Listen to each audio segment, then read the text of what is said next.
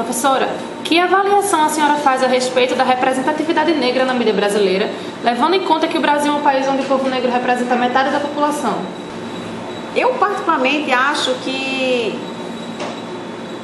as populações negras elas têm conseguido mais espaço do que as populações indígenas na mídia e até de forma mais positiva.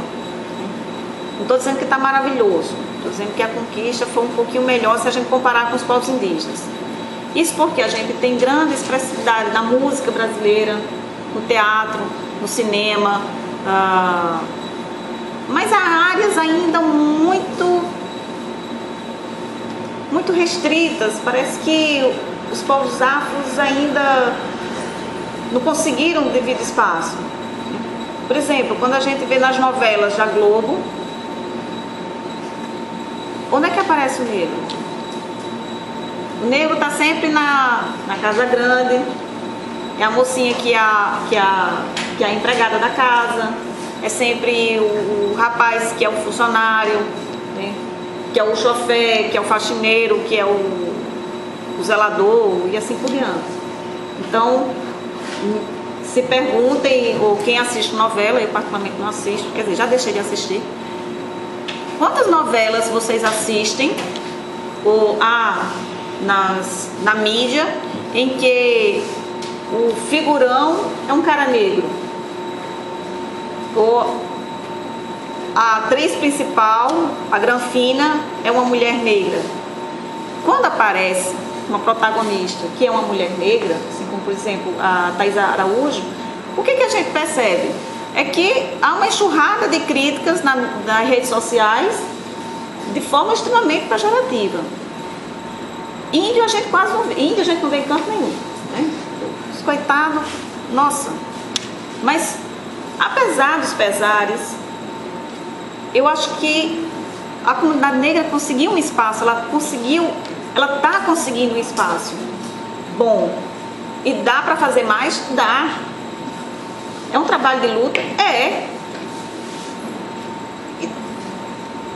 Eu acho que você, principalmente vocês mais jovens, vocês têm um, um fôlego a mais.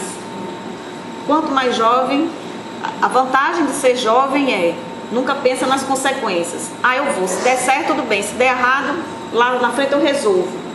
E aí, eu acho que é essa juventude que tem que começar realmente a instigar cada vez mais quem já está andando.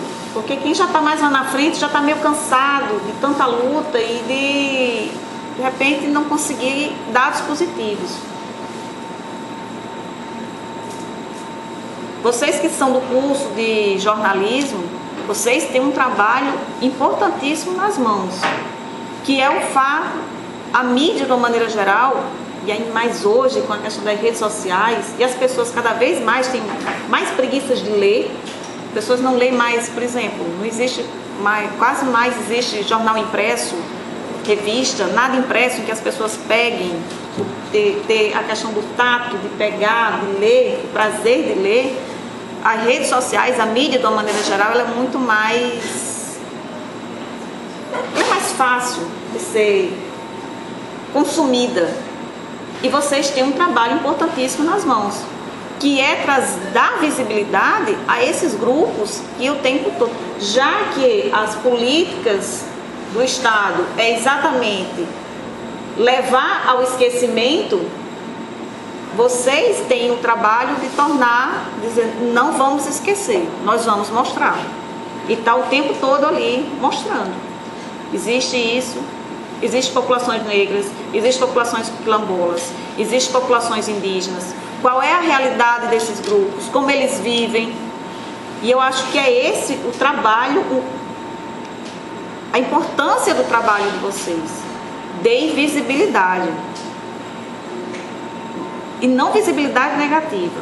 Se esses grupos estão manifestando, se esses grupos estão na rua, se esses grupos estão interrompendo uma rodovia, eles não estão fazendo isso por simples baderna, eles não estão fazendo isso porque são vagabundos, porque são desocupados, porque querem atrapalhar o trânsito, porque querem atrapalhar as pessoas. Eles estão fazendo isso porque eles têm direitos e os direitos deles estão sendo retirados.